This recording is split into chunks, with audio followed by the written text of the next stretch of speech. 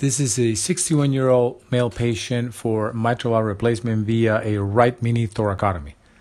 The patient had history of severe mitral regurgitation, coronary artery bypass grafting a few years prior, hypertension, end stage renal disease on hemodialysis, and had a right jugular vein hemodialysis catheter in place.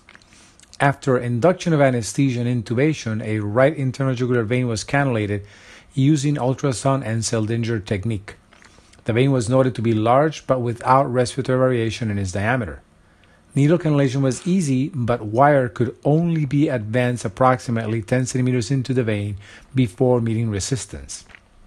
It is important to note that if a jugular vein does not change diameter with position or respiration, is suspicious for a proximal obstruction. This is the surface ultrasound. You can see the wire, the artifact generated by the wire, very large right internal jugular vein in blue, carotid in red.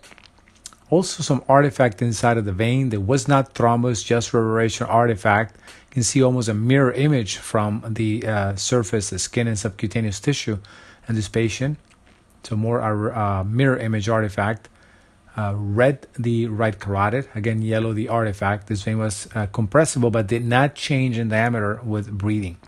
We advance the catheter into the jugular vein enough just to do a venogram. In the venogram, you can note a dilated mid portion of the right uh, jugular vein. Also, the dialysis catheter with a very narrow uh, distal jugular vein, uh, noted by the white circle. Magnified view, you can see how the uh, distal jugular vein was the size of the dialysis catheter. Just distal to the obstruction is the entrance of the right subclavian uh, vein, right in this area. As you can see now, some dye into the subclavian vein. Because the patient had a, a left cephalic vein, a left subclavian venogram was done. You can see the uh, left subclavian vein and then the left innominate vein uh, more proximal. See the sternal wires in yellow. You can see that venogram in light blue of the left subclavian and more proximally the left innominate vein.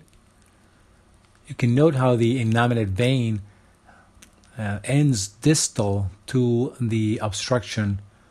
And I will see two fluoroscopic images side by side, done initially showing the right jugular vein with the dilation, and then the one done through the left uh, subclavian. And now the images combine.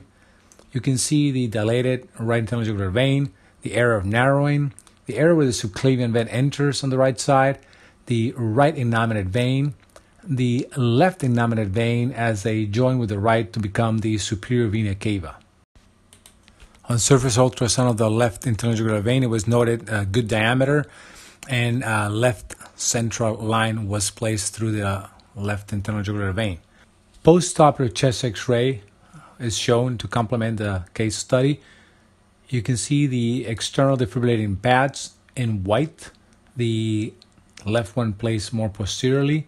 The sternal wires in yellow, top one appear to be fractured in the plain image. The left internal jugular vein introducer and Swan-Ganz catheter placed through it in the main pulmonary artery. A bioprosthetic in the mitral valve position. The orogastric uh, tube and the plain image just uh, as a refresher at the end. I hope you have enjoyed the case and the video. Thank you for watching.